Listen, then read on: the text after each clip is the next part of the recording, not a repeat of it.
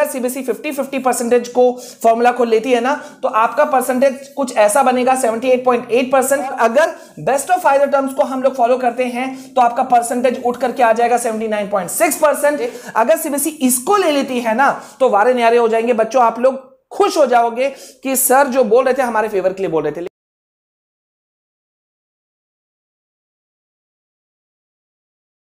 So hey everyone once again welcome back to your channel guys लगातार हम लोग message कर रहे थे मेल्स कर रहे थे ट्वीट कर रहे थे सीबीएसई को वेटेज सिस्टम के लिए कि भाई वेटेज सिस्टम ऐसा लागू किया जाए जिससे कि बच्चों को फ़ायदा हो।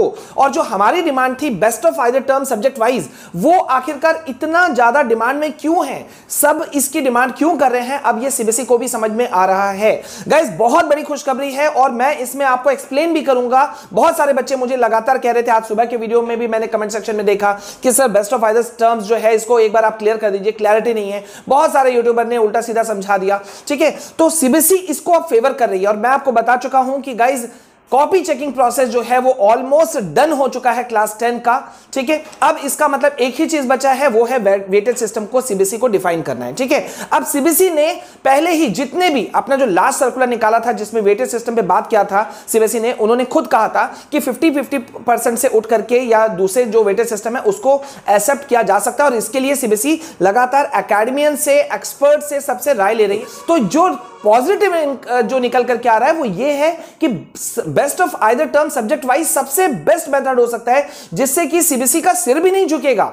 ठीक है? अब क्यों नहीं झुकेगा और क्या चीज़ है, ये मैं आपको छोटे से वीडियो में जल्दी से समझा दे रहा हूँ। इसको देखना, ये आपको बेस्ट वे में आपको एक्सप्लेन कर देगा कि why we all should support we all should support what किसको? Best of either term subject wise बड़ा डिफरेंस होगा, मैं पहले दिखा देता हूँ, ताकि आप लोगों का हिम्मत जो है ना, वो बढ़ जाए। ठीक है? तो पहले ये देख लो, उसके बाद में कुछ आप लोग और देखना।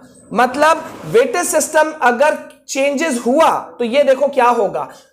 मार्क्स आपको जो भी मिले, मैं भी आपको दिखा दूँगा, लेकिन जो जो मार्क्स आपको डिप्यूट होते हैं, वही मार्क्स पे। सपोज़ आपने इंग्लिश में थर्टी मार्क्स लिया टर्म वन में टर्म टू में ट्वेंटी मार्क्स लिया। सपोज़ साइंस में आपने टर्म वन में ट्वेंटी मार्क्स लिया टर्म टू में थर्टी मार्क्स लिया। इस तरह से करके जो भी मार्क्स था, अगर वो भी रहता है तो देखो परसेंटेज का क्या फ़र्क पड़ेगा? अगर सीबीएसई फिफ्टी फिफ्टी परसेंटेज को फॉर्मूला को लेती है ना तो आपका परसेंटेज कुछ ऐसा बनेगा सेवेंटी जो मार्क्स अभी मैं आपको समझाऊँगा, दिखाऊँगा, ठीक है? और अगर बेस्ट ऑफ़ फाइदर टर्म्स को हम लोग फॉलो करते हैं तो आपका परसेंटेज उठ करके आ जाएगा सेवेंटी लेकिन अगर सीबीएसई जो हमारा डिमांड है बेस्ट ऑफ़ आइदर टर्म से उठ करके सब्जेक्ट वाइज को ही चुन ले। अगर सीबीएसई इसको ले लेती है ना तो वारे न्यारे हो जाएँगे। बच्चों, आप लोग खुश हो जाओगे कि सर जो बोल रहे थे, हमारे फेवर के लिए बोल रहे थे। लेकिन मुझे अफसोस, इस बात का लगता है, यार यूनिटी की कमी दिख रही है मुझे बार बार देखो क्या परसेंटेज का फ़र्क आ जाएगा। 85.6 मतलब मार्क्स वही है।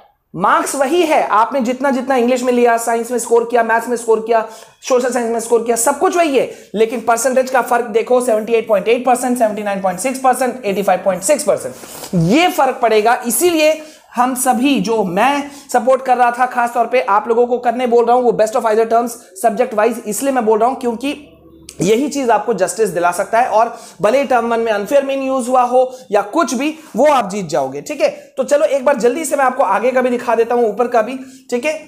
थोड़ा सा इसको छोटा कर लेते हैं आई होप कि आपको दिख जाए। ठीक है? ये देखो। यहाँ पे हम आपको दिखा दे रहे हैं, ये हैं सब्जेक्ट्स कुछ सब्जेक्ट्स को हमने ले लिया। Term one term two fifty fifty weightage ये देखो, यहाँ वेटेज सिस्टम एक हमने चुना fifty fifty best of either terms और best of either terms subject wise ठीक है? अब यहाँ पे हमारा ये कहना है कि आपका ये इंग्लिश का पेपर है फिजिक्स है केमिस्ट्री है मैथ्स है सीएस है, ठीक है? टोटल इंटरनल असेसमेंट है, ठीक है? मतलब टोटल ये जो भी कुछ हुआ और यहाँ टोटल मार्क्स और ये है परसेंटेज तो क्या फ़र्क पड़ेगा? ये देखो। कि आपको अगर ये ये मार्क्स मिले हैं 25 35 मान लेते हैं इंग्लिश में टर्म में 25 टर्म टू में 35 इस तरह से करके मिला, या फिजिक्स में 20 25 केमिस्ट्री में 25 20 मैथ्स में 30 20 सीएस में 34 30 इस तरह से मार्क्स मिला तो आपका जो वेटेज सिस्टम तीन वेटेज सिस्टम अभी जो सीबीएसई की नज़र में घूम रहा है, हमने यहाँ पे 30 70 को नहीं चुना, उसको हटा ही दिया, हमने तीन को कंपेरिजन किया 50 50 best of either terms best of either terms subject wise ठीक है? तो क्या फ़र्क पड़ेगा? समझ लो आप इस एक चार्ट पेपर से आपको सारा चीज़ समझ में आ जाएगा कि ये हो जाएगा 50 50 के अगर हिसाब से आप एड ऑन करोगे ना तो आपका परसेंटेज बनेगा 78.8 परसेंट बनेगा। सोचो, ठीक है? मार्क्स आपके ऊपर नीचे हो सकते हैं। I am just giving an example कि सेम मार्क्स रहने पर फिफ्टी फिफ्टी वेटेज सिस्टम के हिसाब से आपका कितना परसेंटेज निकलेगा?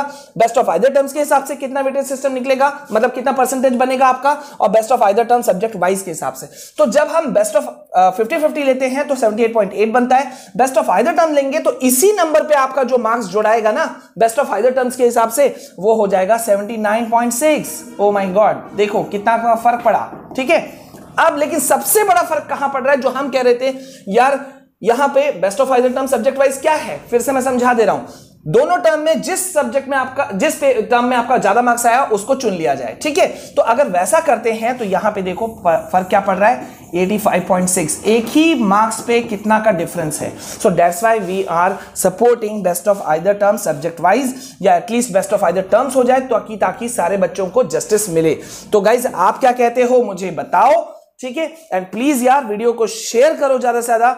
और जैसा कि मैंने पहले भी कहा है कि आपके लिए हम लगातार लेकर आए हैं।